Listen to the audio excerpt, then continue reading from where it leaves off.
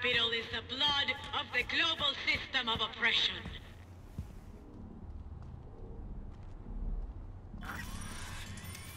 Your luck shall turn around when the means of production will flow on an endless stream of endorphins. You scrolling this? Well, we need to save these for posterity's sake. Ha!